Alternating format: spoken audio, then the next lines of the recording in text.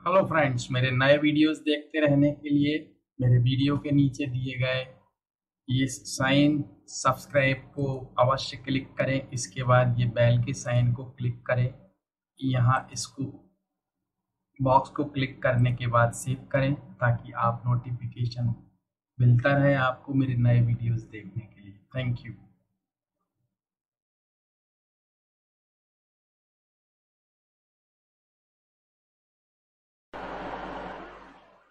Hello my dear students and friends, welcome back.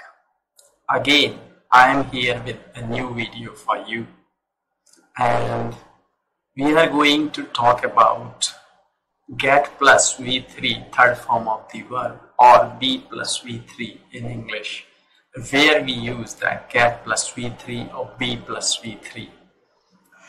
I just tell you some of the examples here and before we go to a topic, I'd like to tell you some of the verbs or most of the verbs in English are having a meaning in Hindi like karma. जैसे अगर मैं एक example लू यहाँ पे एक verb का तो जैसे मैंने कहा अगर डिस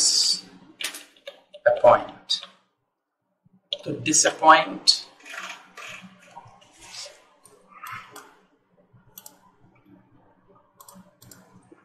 डिसअपॉइंट का मतलब होता है निराश करना। इसका मतलब क्या है? मैं लिख देता हूँ यहाँ पे। निराश करना। ये इसका मतलब है डिसअपॉइंट का। तो जैसे मैंने आपसे कहा कि तुम अपने पेरेंट्स को निराश मत करना। Please don't disappoint your parents तो ये तो सही है, निराश करना। लेकिन कई बार हमको बोलना होता है कि निराश मत होना। तो करना तो ऑलरेडी वर्ब है हमारे पास, लेकिन होना, निराश होना। जैसे मैंने आपसे कहा, आप निराश मत होइए, फिर से कोशिश करिए, है ना? तो निराश होना के लिए हमको get plus third form of the verb या बी प्लस वी थ्री से हम उसको बना सकते हैं। तो जैसे मैंने कहा, आप निराश मत होइए, है ना? तो डोंट इसको let's make it in English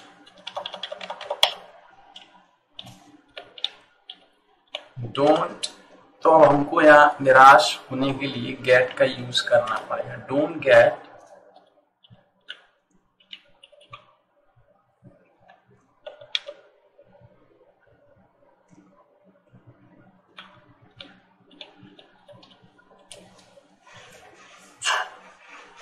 don't get disappointed.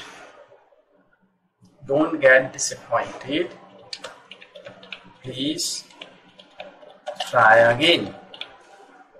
तो आप निराश मत होइए।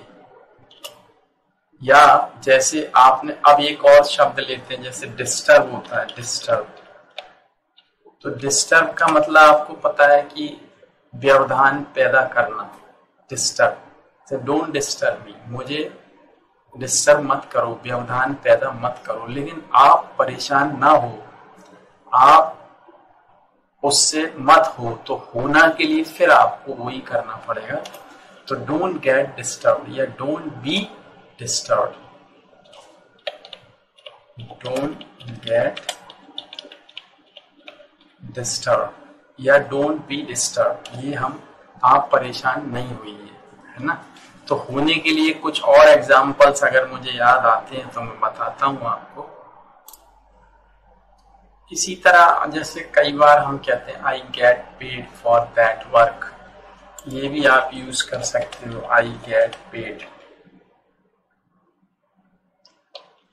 for my job जो काम मैं करता हूँ, उसके लिए मुझे पैसा मिलता है। I get paid for my job I pay तो मैं करता हूँ किसी को, लेकिन मैं पेड होता हूँ। मतलब मुझको पेड किया जाता है। Get paid for my job आप इस तरीके से ये कर सकते हो।